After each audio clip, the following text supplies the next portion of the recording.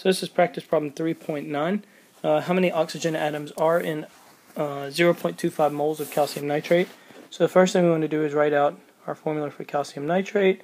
So CONO3 2. Okay? And so here we need, we have molecules, right? And we need to get to atoms, which means we need to go to molecules and then to atoms. Okay, and so we're starting with 0.25 moles. Okay, and I'm not going to write out the calcium nitrate part here, but you probably should. Um, and so uh, we're actually going to multiply that by, um, so we need to go from moles to molecules, and we know that in one mole of calcium nitrate,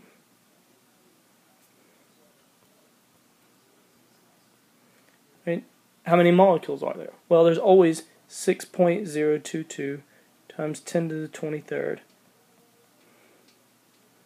molecules in one mole. Okay, so then, uh, and that's molecules of calcium nitrate.